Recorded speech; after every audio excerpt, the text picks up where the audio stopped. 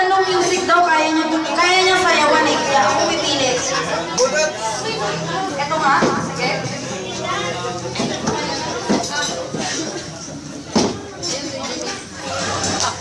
Christine Hermosa. Christine